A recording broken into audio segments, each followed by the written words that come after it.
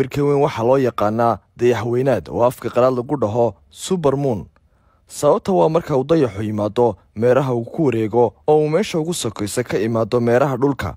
Dadka dhulka ka eegaya ayaa sidaasi ku dareemaya inuu sidii hore ka weyn yahay kana iftiin badan yahay. Dadka deegaanada soomaalida jooga ayaa dayaxa muuqaalkaasi ku arkaya laga bilaabo salaada makhrib kadib wakhtiga uu gabalku dhaco.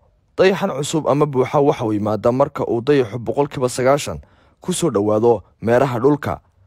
Wareegga dayaxa waxa uu siyaabo kala duwan u wajahaa meeraha dhulka taasoo micnaheedu yahay in mar walba dayaxa ku arkayno cabirka weynkii hore taaniyada seles merkios oo ah arbixiyeen ka howlgasha royal observatory greenwich ayaa waxa ay sheegtay in dayaxa buuxo ee caawa oo kale la arki doono uu yahay mid boqolkiiba afar iyo toban ka weyn isla markaana boqolkiiba soddon ka iftiin badan dayaxa marka uu dhulka ka jiro dhanka kale oo ah marka meesha ugu fog naga joogo dayaxu. Waxay intaasi ku dartay in dayaxu uu cabirkiisu heerka ugu weyn gaadhayo daqiiqadaha ku xiga xilliga uu soo baxayo.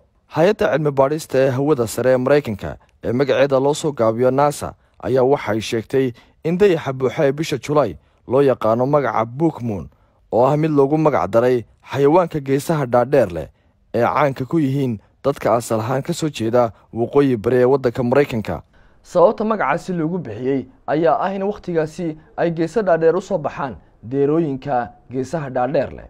Reer yurub ayaa ku magacaaba haymoon maadaama wakhtigaasi sannad kasta la duubo cawska qalalay. Naasa ayaa waxay sheegtay in bisha julaay ay sidoo kale dadka hinduuga ahi u tahay dayaxa buuxa